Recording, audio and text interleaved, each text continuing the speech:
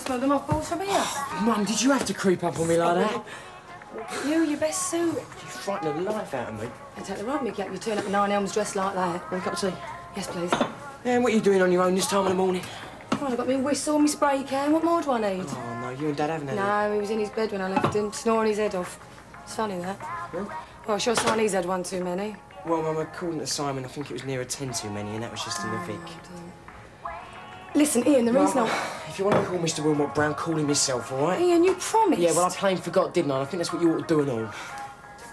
Ian, look, fix it for tonight, all right, 8.30, and tell him he must bring the money with him. Mum, you can't. Look, and don't forget not a word to your dad. Mum, you can't. Not after what he's done to you. Ian, I know what I'm doing. Yeah, and what you should be doing is going to the police, getting him banged up the same as Den.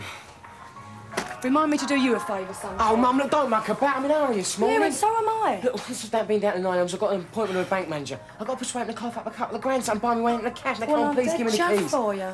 Look, Mum, if I let Dad down, he'll kill me, so please give yeah, me the you're right, you keys. know the mood he's been in lately. I'm not going to win, am I? All right, I will call him. Satisfied? Thank you. And believe me, Ian, you have got nothing to worry about on mine. That. Oh, that old son pratty at me while I was parked inside the bank. And I wouldn't like to be in your shoes when your dad sees it.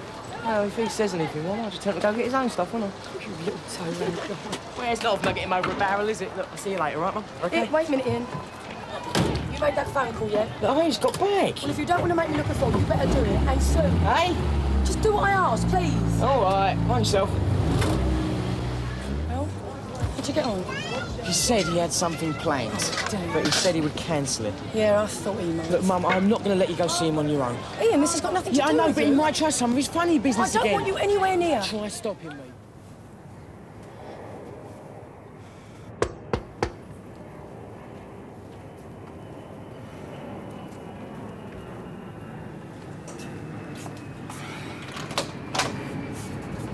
Hello, Kathy. Sorry I'm late. You better come in. Must be freezing out there. Thanks. Thanks very much.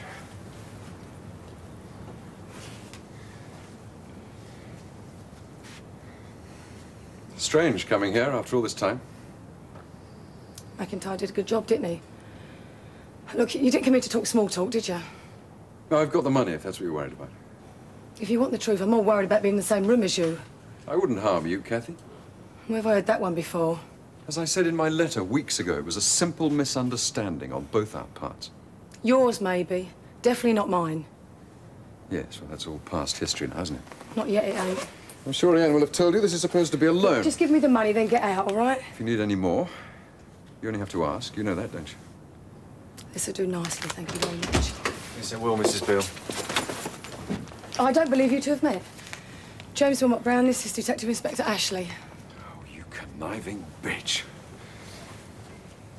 Well, she, she set me up. Oh, you did that yourself, old bean. That's what it is, Inspector, a setup. If, if you'll allow me a few minutes in private, I'm sure we'll be able to clear up this whole matter in no time. It all looks pretty much cut and dried to me. It was a loan, pure and simple. I felt sorry for them. They've been having a lot of financial trouble lately. Well, then I'm sure you'll have no hesitation in coming to the station with us. How could you do this to me, Kathy, after all I've suffered on your account? This way, sir, if you wouldn't mind.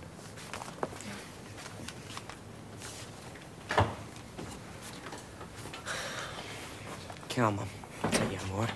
Oh, you better tell Michelle and Sharon the coast is clear first. All right. I won't be long, okay? Don't rush. I'm fine, honestly.